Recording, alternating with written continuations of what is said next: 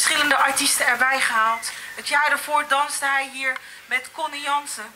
Maar vanavond, speciaal voor ons hier in Noord, komt er ook nog spoken word. Hoe dat gaat klinken, dat gaan we zo meteen horen. Maar het belooft weer een geweldig spektakel te worden. Ik wil jullie vragen om in ieder geval het orkest alvast een warm applaus te geven. Het orkest van Symfonia Rotterdam. En een nog daverender applaus voor hun leiding, Conrad van Alphen. Het is nou weer een waar genoegen. Dames en heren, alleen zoals wij dat kunnen. Het orkest Symfonia Rotterdam en Conrad